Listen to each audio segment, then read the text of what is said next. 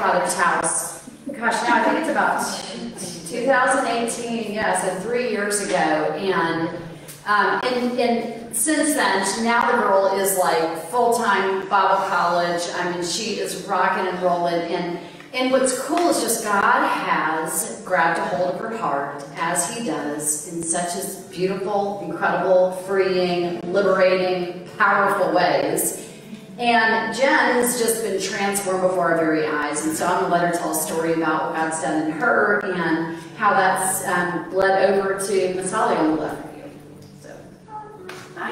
Hi. Is this on? Yeah. Okay, so in order to do that, it's leaning into Him and trusting Him rather than um, striving myself to do what it is I think I need to do, right?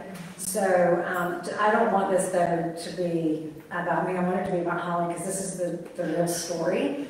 My part in it is I just stepped into what um, I believe Papa's plans are for me. I don't know quite yet, but it is so exciting to um, witness it firsthand with Holly. So let's just start. You tell the story and then a little bit more after that. Okay, um, so um, first of all, it's definitely God's story, I would say, Yeah. for sure. Yes. Um, but I started Father's House, uh, I guess we're getting ready in our lunchroom, ha- having our lunch, and I had finished my lunch and just, I was actually sitting beside Jen, and I turned like this and kicked my legs out because my knees, like, they really bother, used to bother me.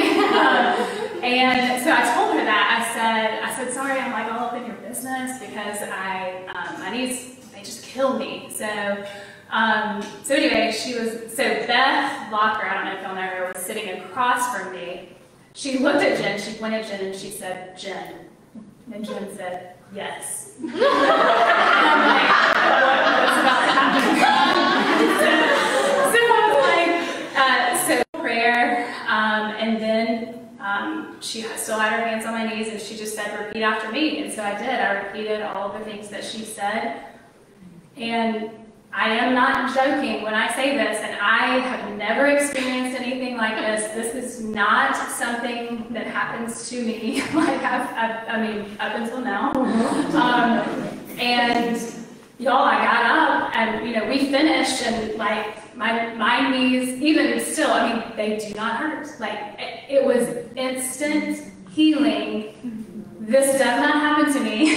and, but it does because I was willing to receive what God had for me. And it was absolutely amazing. I was so giddy. Wasn't I? I was excited and happy. And that next day, um, I think that night, Yeah, that night, Wednesday night. yeah, oh yeah, Wednesday, Wednesday night, yeah, we, we were actually at church together, and I said to myself, I'm gonna sit like this the whole time. To Make sure my knees aren't, really aren't hurting. It worked. Like, I was able to sit like this the whole time, and I never had to like kick my feet out or anything. So I just sat there, you know, like this, and um, I actually told Jen that afterwards. that I was able to sit like that the whole time, and um, a friend of ours, Cindy, was there too, and I just said, things like this don't happen to me, things like this don't happen to me, and they're like, up until now, up until now. Um, so that was really cool, and then um, I think Courtney had told some of the some of you guys this healing, like if you worked out or whatever. That's kind of what they felt like, like it was just a healing process. Um, yeah, so that was that Thursday, and then I mean, really ever since, like I can sit like this, and it does not bother me. Um, and if I, um, you know, if I ever do any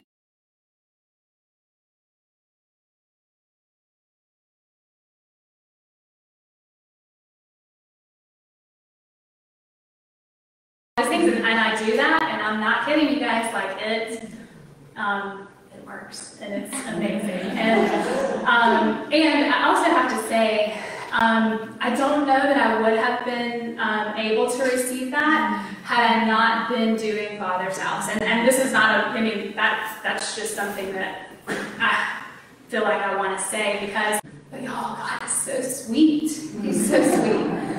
So anyway, that's something that I've um, taken from this as well. So yeah, so I am so grateful, um, grateful to the Lord. Obviously grateful that Jen listened to Jen and Beth, but listened to what I mean God put on their heart immediately. Um, So yeah, I'm so excited. Uh, just yeah, I'm excited for Jen too to see how many more people she's going to now.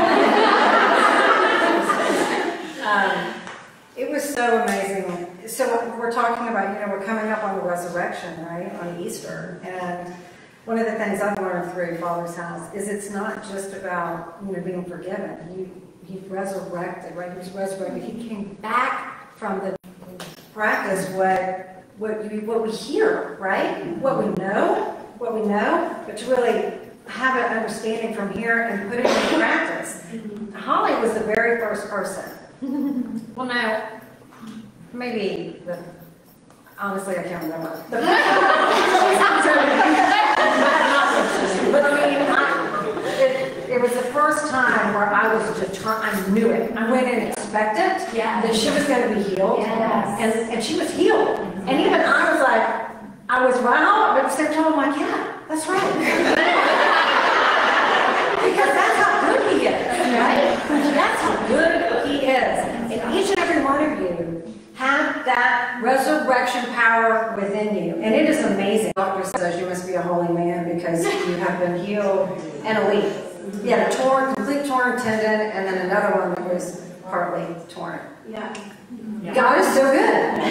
So I want to read, you know, Ephesians 3.20. This is something Karen and I talked about last week still, so I want to read it again because it has to me even more meaning today. And I hope that it blesses you guys. So again, Ephesians 3.20. Now to him who is able to carry out his purpose and do super abundantly more than all that we dare ask or think, infinitely beyond our greatest prayers, hopes, or dreams, according to his power that is at work within us. To him be the glory in the church and in Christ Jesus throughout all